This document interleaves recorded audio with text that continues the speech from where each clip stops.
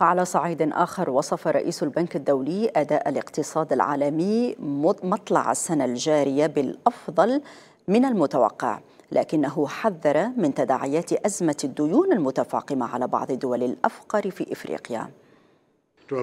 أداء الاقتصاد العالمي يعكس مسارا أفضل من المتوقع منذ بداية 2024 في أمريكا والهند والبرازيل وبعض الدول في آسيا.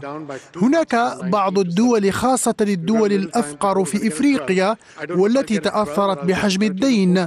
ومن المهم بالنسبة لنا أن نجد طريقة نكون مفيدين لهم من أجل المضي قدما.